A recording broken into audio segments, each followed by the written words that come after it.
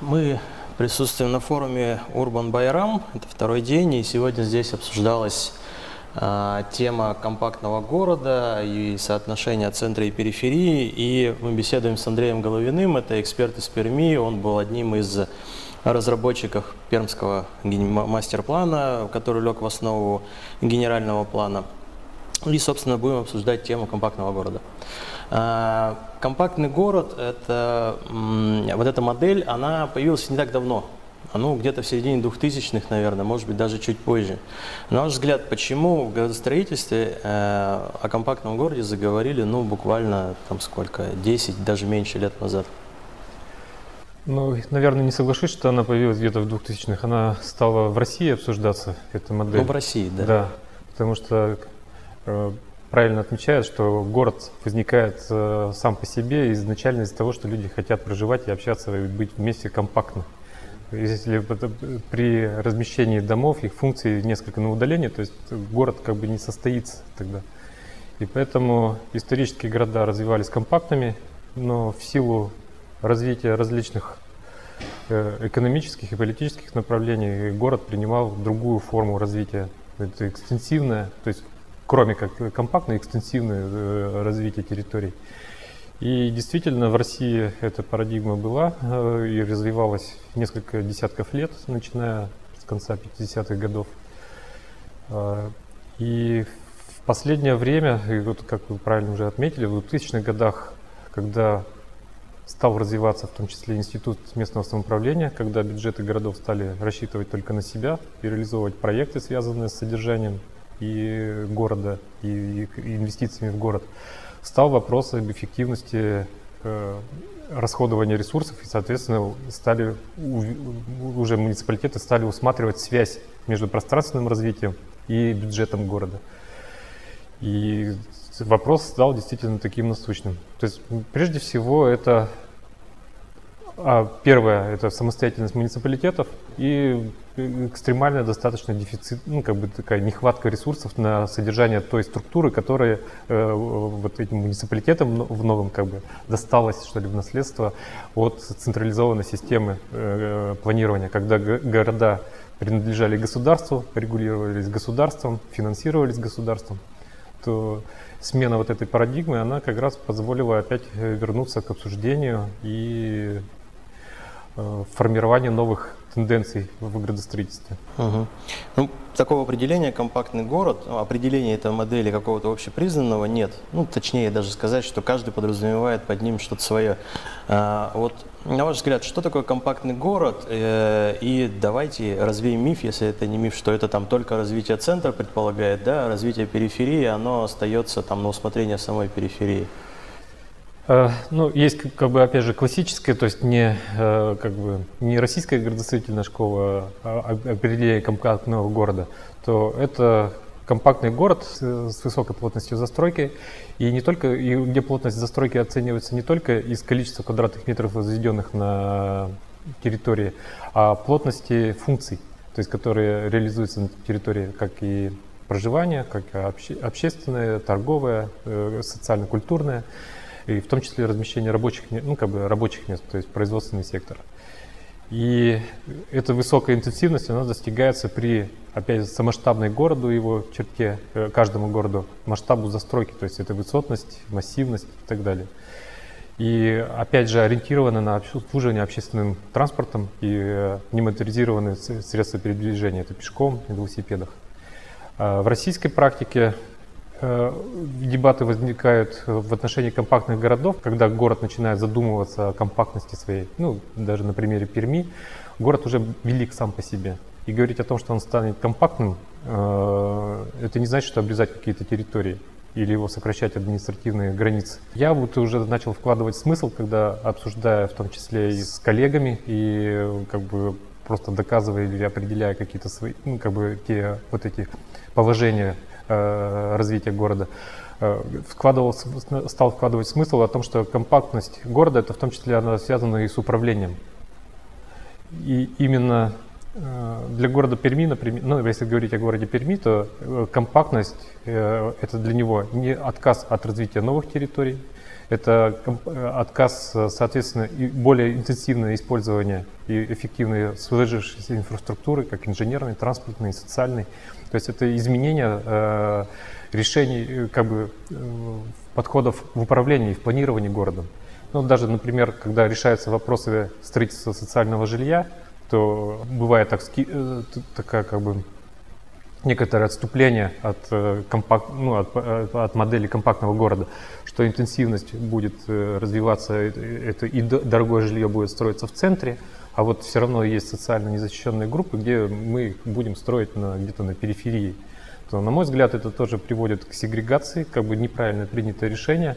Э, и можно найти в том числе место в компактном городе для всех слоев населения. Любой как бы, экономической своей как бы, позиции вот, э, в структуре, в структуре как бы, социумов.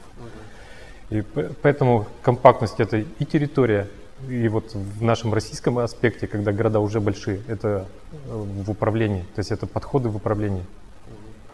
Но, э, опять же, возвращаясь к периферии, вот Пермь и Уфа, они, в общем, довольно похожи друг на друга, ну, в некотором смысле, потому что там они расположены на реке, и в Уфе есть вот эти три отдаленных района, Дема, Затон э, э, и Шакша, и в Перми тоже есть эти отдаленные районы, которые там на том берегу Камы находятся. Они вот в модели компактный город как встраиваются? Ну, во-первых, с точки зрения территории, занятой городом э, Уфо и Пермь. Уфа более компактный, и, э, можно наблюдать, что все равно концентрируется такая городская застройка на территории полуострова. Проблем может быть даже таких связанных, э, как у города Перми, вот с его большими административными границами. В Уфе может быть их меньше. И потенциал, как реализовать, вот, э, вот реализовать вот эту идею и модель компактного города у Уфы ну, на самом деле есть э, достаточно высокий. Но только нельзя э, рассматривать о том, что э, сразу же можно как бы не контролировать застройку, то есть идти по пути повышения этажности, которые вот сейчас можно наблюдать. И вот мы обсуждали вопросы э, последних проектов с глав архитектуры Уфы, о том, что если были раньше запланированы 18-этажные здания, то сейчас планируется 42-45 то при сложившейся, сложившейся застройку встроить высотные здания с сохранением той желаемой плотности для компактного города невозможно потому что э, высокую плотность дает именно не высотное здание, а здание, так скажем, средней этажности, это 6-8 этажей. И э, потенциал есть, но его нужно как бы разумно использовать сейчас, с тем, чтобы э, создать вот, э, ту желаемую интенсивность, тот желаемый баланс, как и застройки, и функций, и занимаемой территории. Ну, то есть э, модель не предполагает э, присоединение вот этих э, отдаленных районов за счет соединения их с застройкой. То есть их нужно соединять как-то по-другому с центром, ну и повышать их доступность, я так понимаю, нужно. Сейчас сложившаяся та, та застройка, которая есть, с ней нужно обеспечить хорошую связность, с тем, чтобы люди могли э, в разумные, опять же, сроки доезжать до объектов культуры, социального обслуживания, до мест работы, то есть как бы создавать такие агломерационные э, связи. А заполнять пространство застройки, ну, во-первых, у города не хватит сил, не хватит энергии и, денеж, и денежной, и, и людской, поэтому э, основной как бы постулатом это идет как бы неприсоединение как бы и отказ от освоения новых территорий. Угу. То есть, э, если говорить об эффекте компактного города, его основной эффект это, собственно, разумная экономия, что ли, разумная трата бюджетных средств получается, не раскидывание денег на инфраструктуру. Ну, во-первых, э, то, что люди определили, то есть, во-первых, э, стремительные процессы урбанизации, они несомненны, то есть уже скоро, там, в 30-х годах Э, этого столетия уже увеличится численность населения там, не знаю, насколько, на 50%, то есть достаточно высокие темпы.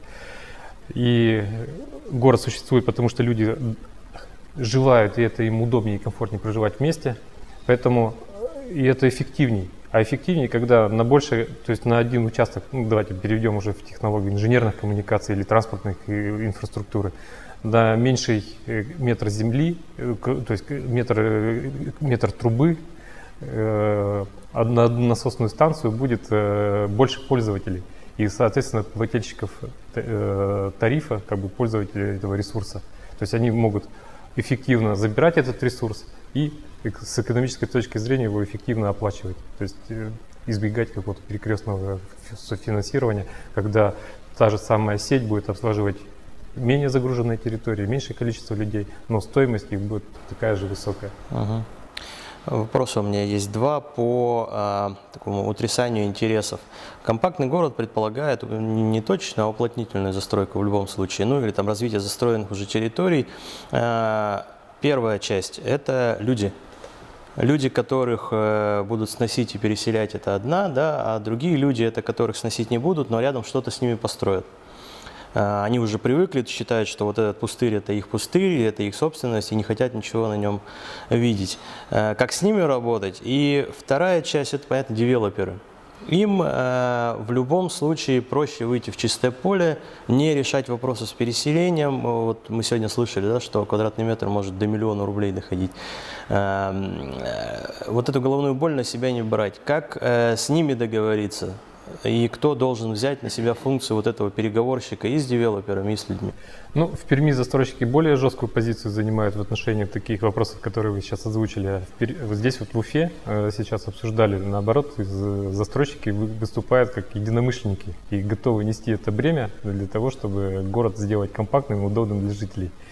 И согласны с тем, что экономика проектов несколько иная, нежели в зеленом поле. Но хотя в зеленом поле это нужно договориться, кто построит ту инфраструктуру, за чей счет банкет будет э, в полях. Если всю ту нагрузку перенести, э, которую как Greenfield э, на обеспечение и транспортной инженерной и социальной инфраструктуры на застройщика, то стоимость также будет и велика, и также будет для него неэффективной. Если еще есть такой период заполняемости, как бы, то есть когда вы заходите э, на большую территорию, то инфраструктурно должны обеспечить ну, минимум на 30-40% с тем, чтобы система работала. А загружена она будет всего лишь на 5-3%. И заполняться с течением времени не по, по мгновению палочки, да, когда раньше пере... просто дали ключи, иди, есть и живи. А в рынке, то есть это кто-то должен принимать решение, э, ехать на периферию, жить вот в этих э, не совсем как бы не до конца асфальтированных, не до конца доделанных территориях. И, и вот этот эффект как бы не, э, не, до, не до загруженных сетей, как бы кто бремя содержания на ком это ляжет. То есть если все на застройщика переложить, то проекты тоже будут не так интересны. И он вынужден будет работать э, в застроенной части города. Поэтому здесь все-таки нужно взвешивать все как бы, аспекты вот такого девелопмента, как комплексное освоение новых территорий, так и застроенных. И, если, и сопоставлять, кто несет чье бремя. Если здесь застройщик решает вопросы с жителями, а все коммуникации есть, если даже какие-то коммуникации он будет реконструировать, то это будет благо в том числе и для города, потому что частично будет происходить замена и улучшение существующих систем, то здесь э, мы можем достигнуть более как бы, серьезного эффекта для города в, в, более долгосрочной перспективе, нежели реализация трехлетнего проекта. И поэтому, мне кажется, за городом стоит э, все-таки позиция определения вот этой политики, то есть кого защищает ли он интересы конкретно девелопера, или он общие и девелопера, и жителей города, как, ну, как бы общественные интересы. А как работать с жителями? Опять же, в Уфе э, как, ну, пока идет процесс как бы, выкупа. Был, есть институт о том, когда муниципалитет участвует в программах по сносу и расселению ветхого жилья и аварийного жилья. То есть это, один из, это как бы одно из направлений. Есть направление, когда э, начинают э, девелоперы выстраивать институты общения с жителями как с инвесторами. То есть не обязательно их переселять куда-то. То есть они могут, вот э, даже покупая или приобретая квартиру, многие люди, ну, это не значит, что он нигде не живет. То есть он может решить на момент переезда в новую квартиру, где-то свой вопрос как бы, проживания может решить. Он не станет бездомным. И так большинство людей, которые покупают квартиры, они в данный момент не бездомные. Соответственно, те, которые живут, я ну, предполагаю, что либо вместе с застройщиком, либо он самостоятельно может этот вопрос решить и вступить за, с тем и уже активным застройщиком в проект по реконструкции своего квартала, или там дома, здания там, или еще что-то. То есть так, э, такие институты работают, но э, вообще в мире. И он, я говорю, что он абсолютно ничем не запрещен и в российских городах. То есть главное, чтобы они стартовали, были, и это будет одно из направлений. Угу. А есть такая распространенная точка зрения у девелоперов, по крайней мере, что нужно процесс э, их общения с жильцами, которых они переселяют, ну, например, не из ветхого аварийного жилья, а просто когда осваивают застроенную территорию, регулировать каким-то образом чтобы не было вот этих вот флуктуаций, когда там 100 тысяч, 200, миллион стоит квадратный метр, чтобы как-то справедливо решать эти вопросы. На ваш взгляд, надо это регулировать? На мой взгляд, вот я считаю, что нет. Урегулировано гражданским кодексом, это частно-правовые сделки, то есть когда кто-то будет принимать решение за вас, что ты должен расстаться с собственностью по такой-то цене, законодатель определил в каких случаях. Если когда нужно для общественных интересов, то есть проложить дорогу, построить там еще какой-то инфраструктурный объект, который будет обслуживать город, регион, страну. А когда просто, чтобы реализовать одному частному субъекту частный проект, э, и для, того, что и государство будет вмешиваться вот в, в их отношения, ну, я считаю, что это несправедливо и, в общем-то, как подрывает основы частной собственности. Да, но есть же перегибы такие, как э, такая иждивенческая позиция. Я живу в доме, Э, он ничего в него не вкладываю, он деградирует, я в него дальше ничего не вкладываю, он еще больше деградирует, и потом э, я за просто так требую там 10 миллионов рублей за свое непонятное абсолютно жилье у застройщика, который осваивает эту территорию. Дело в том, что в России сейчас, в российских городах, э, как бы нет бремени содержания недвижимости. И она оценивается, чем у тебя дом хуже, ты, ты меньше платишь. Тоже как бы перекос. И, в принципе, если есть спрос на эту территорию, на этот земельный участок, то есть неважно, если дом деградированный полностью уже не несет своих функций, то ценность представляет земельный участок, на котором он расположен, он все равно имеет рыночную ценность, стоимость и достаточно высокую. Оценивается, он платит налоги за нее, и, то есть у него есть, должно быть обязательство э, по содержанию этой территории, а не просто оно должно как такой гниль, как бы распространять свое отрицательное влияние на окружающую застройку. То есть плати налоги, содержи ее. Если это урегулировать, то, скорее всего, человек, который не способен ее содержать, он будет из нее избавляться, продавать. И будет продавать по рынку. Если не договорились по цене, плати государству, содержи. Да, я понял. А, если говорить о европейских э, нормах э, вот компактного города, здесь э, говорили, о, ну, например, о плотности застройки, да, говорили, что на Уфимском полуострове, несмотря на то, что здесь живет там подавляющее число жителей, плотность застройки всего 0,5. А, мало это, много это, и до какого, до какого коэффициента, вот, ну, по образцам там, европейских городов, эту плотность можно увеличить и нужно увеличивать? Тут, тут вопрос как бы не нужно, а возможности, да, то, то есть, то есть в градостроительстве всегда так нужно, там, должны, будет очень такой, э, как э, опасный, что ли, терминология, возможности. А, в этом случае работают всегда сопоставимые какие-то застройки, типы, которые мы можем встретить в Европе. Например, Барселона – это 4,5. Это центр, вот когда кварталы со скошенными углами, мы все знаем, то вот эта застройка составляет где-то 4, э, это 40 тысяч на гектар, 40 тысяч квадратных метров на гектар. Обычный стандартный микрорайон советский, он дает от 0,9 до э, от 900 до, до 10 тысяч, то есть от 9 до 10 тысяч э, квадратных метров на, на, на гектар. А, например, представляете застройку э, террасную, такую как дома таунхауза или блокированные дома в Лондоне – двухэтажные домики, где в одном этаже семья проживает, ну, то есть в двух этажах, ну, вот, э, вертикально проживает одна семья и такие как бы террасами заблокированные дома. Угу. То здесь э, плотность такой застройки в Лондоне достигает до 18 тысяч на гектар угу. при двухэтажной застройке. И она уже конкурирует даже с нашими микрорайонными застройками. И, соответственно, раз э, э, то есть в течение десятилетий как бы про, была по СНИПу градостроительства, который как бы работал, формировалась застройка вот по принципу 0,9 э, единичка, вот этот э, коэффициент застройки, плотности застройки, то образовал, у нас есть потенциал э, до, ну, так скажем, хотя бы увеличить это в два раза, в два с половиной раза. Если еще есть э, такой показатель плотности по населению, когда 220 человек, э, опять же, если по градостроительству где-то было 220 человек на гектар, ну, эта плотность недопустима или предельно, а такая это предел экономической эффективности использования инженерной, социальной, транспортной инфраструктуры. То есть это сколько людей, когда будет проживать на территории, э, работа всей инфраструктуры будет эффективной. Вот каков был смысл. А предельная, это когда уже нарушается комфортность среды проживания, 450, по-моему, человек на гектар, было продекларировано там, на Афинской хартии э, о, о, о комфорте городской среды. И вот это предельное. Так вот, если посмотреть по количеству людей, которые проживают в российских городах, то мы вот эти 220% эффективность не встретим практически нигде. То есть она там ниже.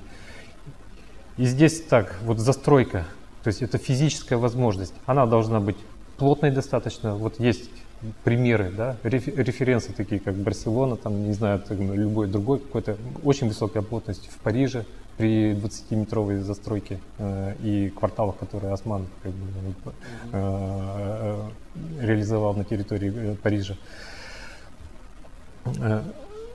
Как будут располагаться функции, жилье, какие квартиры, то есть, и, то есть людям, то есть самое главное, вот это еще э, э, вот в, компактной, в компактном городе это еще многофункциональность. Многофункциональность, опять же, обеспечивается той физической формой домов, зданий, как, чтобы они тоже были многофункциональными. То есть мы не можем фиксировать, что это, вот, например, советский микрорайон, если дом построен панельный, то это всегда будет жилье. Вы его не сможете адаптировать ни под магазин, ни под офис, ни под гостиницу, или гостиницу низкого очень класса, то есть и так далее. А, допустим, сейчас, вот все то, что мы начинаем производить сейчас, то есть э, дома должны быть достаточно универсальными, с тем, чтобы со временем они могли быть использованы под любое назначение. И вот физически мы можем застройку обеспечить э, так, э, э, скажем, по высоким параметрам плотности вот это строений, а народ уже а, образует, может поднять, если это будет территория удобная, созданы все условия, и плотность по э, рабочим местам, и плотность по проживанию. То есть он как бы уже рынком все это определится и будет востребовано, заполнено. То есть вот подход какой-то такой. Меня вопрос последний. Э, вы в своем ответе сказали, что несмотря э, на то, что компактный город, он, э, ну даже на, на примере Уфы, несмотря на то, что он должен в основном формироваться на Уфимском полуострове, ну то есть в центре, здесь можно найти место для жилья любого класса. Вот у меня, собственно, и вопрос. Как, как можно в центре, условно в центре города, да, где сейчас, по-моему, там 53 тысячи рублей, по-моему, за квадратный метр, а если брать там Екатеринбург, там соседний город, там, по-моему, там 75 тысяч в центре города, как можно изыскать возможность для того, чтобы снизить эту цену? А, этот вопрос как бы доступного жилья не решен нигде и решается везде. Хоть то есть, да, да, но как, э, давайте, как это сделать доступным? То есть вот мы выбрали, э, то есть наше государство выбрало такую позицию, что социальное жилье, вот это более доступное, мы сделаем на периферии. Оно будет дешевым, условно 30-35 тысяч или сколько-то рублей. Мы заплатим деньги туда, проведем транспорт, построим социальную инфраструктуру и так далее, и так далее. То есть она готова, то есть город э, через какие-то программы, я не знаю, готов вложить эти деньги туда. А давайте соберем эти деньги и вложим, компенсируем и скажем, что вот этот э, девелоперу, что вот эти квартиры, мы тебе вот за, разницу заплатим, вот сколько бы в поле не, не закопали, э, дисконтируй и продай это ну, как бы социальное жилье. Можно спланировать социальное жилье. То есть, допустим, на рынке все равно востребованы. Люди ведь, э, допустим, сейчас очень, э, как, на мой взгляд, все равно в городах монополия предложения. Планировки, типологии, они все одинаковые. Что в центре, что на периферии. А, и человек, по сути, ну, давайте ячейку возьмем, там 70 квадратных метров, или э, она что вот э, в этом самом в центре, Что на периферии? Здесь она будет стоить 70 тысяч, на периферии 35. Давайте представим, вот тот человек социально как не готовый покупать по 74 с экономической точки зрения, купил бы он в центре города за те же самые деньги в абсолюте, но не 70 метров, а 35 купил. А нужно ли более богатому человеку, да, который готов покупать за 74? Он купил бы, э, ну, вот то, что готов купить э, за 74, но 70 метров. Зачем ему 35 метров? Он купил бы 70. Поэтому и в планировочных, ну, то есть, ну, давая как бы диверсификацию вот эту в планировке, в планировочных решениях, то есть можно в структуре здания как бы дифференцировать, э, ну, как бы цену. Даже риэлторы сейчас ведь и застройщики также дифференцируют цену по этажам. Там э, есть как бы премиум класса, да, цены выше. Пусть они отличаются. То есть, когда предложение стандартное, то предложение всего лишь вот, э, ну, разница небольшая, в 3-5%. А когда они кардинально могут переделать, кардинально могут э, ну, как бы решить стоимость даже отделки там, там, или еще каким-либо образом. То есть они могут создать в том числе э, ну, как бы серьезный спред, как бы, когда mm-hmm. там могут проживать и более обеспеченные граждане, и менее обеспеченные. Спасибо большое.